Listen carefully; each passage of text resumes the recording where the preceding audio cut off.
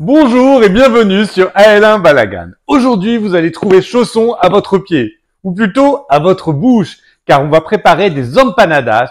Ce sont des chaussons latinos au fromage et aux oignons.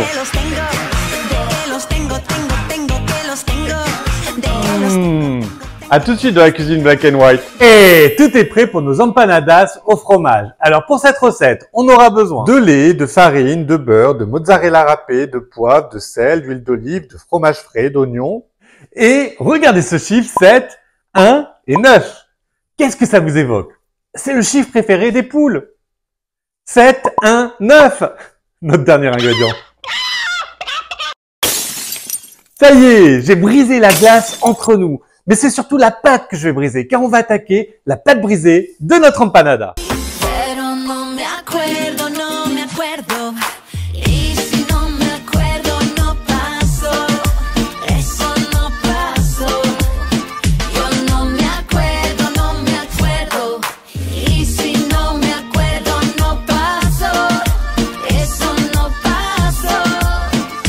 Le next plus ultra, c'est d'avoir le fromage de l'empanada qui coule. Pour cela, vous avez deux méthodes. La première, c'est de ne pas apprendre à nager au fromage. Et il coule.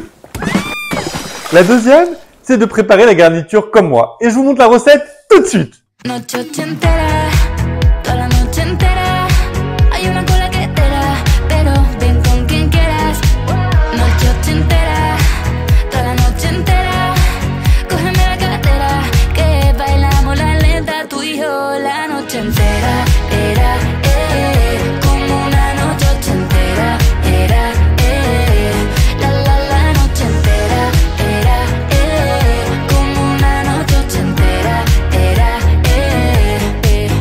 Ça y est, nos empanadas sont prêtes et elles sont trop mignonnes.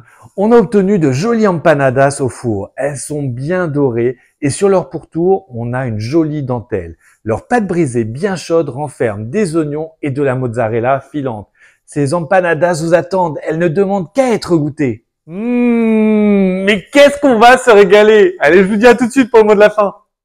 Si vous comptez aller visiter l'Amérique latine, alors surtout, mais surtout, n'oubliez pas de prendre avec vous des empanadas. Mais cette fois-ci, garnies avec de la tome de Savoie. Pourquoi? Ah bah parce qu'avec la tom tom, on ne se perd jamais